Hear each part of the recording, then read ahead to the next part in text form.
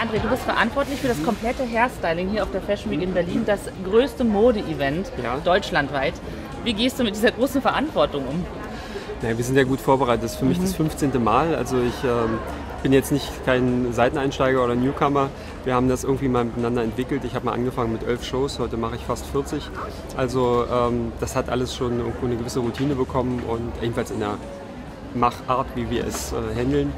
Es gibt immer Neues und es sind immer neue Herausforderungen, aber das ist auch schön, das macht dir den Beruf auch interessant.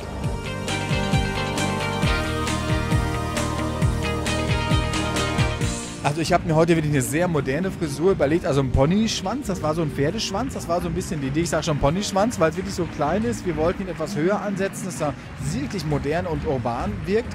Wir wollten aber auch einen fixierten am ähm, Pferdeschwanz, der so am Hinterkopf fixiert ist und trotzdem ein bisschen baumelt. Es war schon länger der Plan, weil ich mit André ja auch eng befreundet bin und wir haben schon, glaube ich, vor drei Monaten schon, während er mir die Haare schnitt, überlegt, was können wir machen. Das war unser beider Wunsch. Ich sage, komm, gib mir noch ein bisschen Zeit, bis wir den Look auch stehen haben. Und jetzt würde ich sagen, passt es perfekt zum Style. Ich finde es ein super schicker, moderner, eine moderne Aussage. Toll.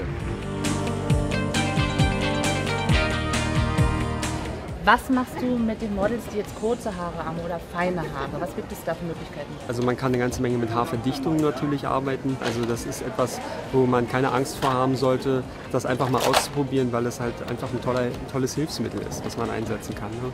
Und ähm, gerade wenn man Haare auch verdichtet, kann man halt einfach mal äh, so ein bisschen mehr, ähm, ja, ich sag mal, mit den Haaren auch spielen.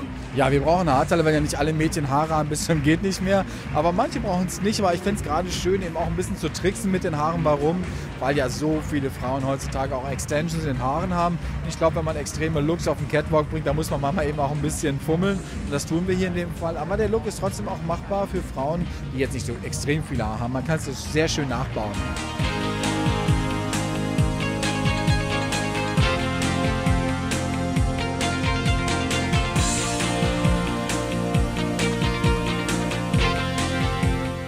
Ja, also wir haben jetzt ähm, gesehen, dass ja ganz strenge Zöpfe getragen wurden bei den Models und ähm, aber witzig gemacht, irgendwie relativ hochgebunden.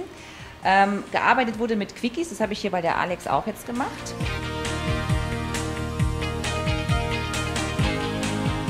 Und wir haben jetzt bei der Alex noch ein kleines Highlight gesetzt. Wir machen nämlich dann auch jetzt gleich im Anschluss für, die nächste, für den nächsten roten Teppich auch gleich eine Frisur, auch mit Zopf. Und das Highlight wird sein, dass wir hier so einen kleinen Effekt drin haben, diese kräftigen Farbeffekte mit den Quickies, äh, die dann eben den Zopf nochmal zu was Besonderem machen. Mit den Hairpins kann man super arbeiten, man kann tolle Frisuren kreieren. Ich fühle mich auch jedes Mal ganz anders, mit einer ganz anderen Ausstrahlung, mit einem ganz anderen Selbstbewusstsein und heute immer mit einem roten Strähnchen. So, jetzt muss ich aber schon wieder weiter zur nächsten Show. Das geht hier ja zack, zack, zack. Tut mir leid. Also, tschüss.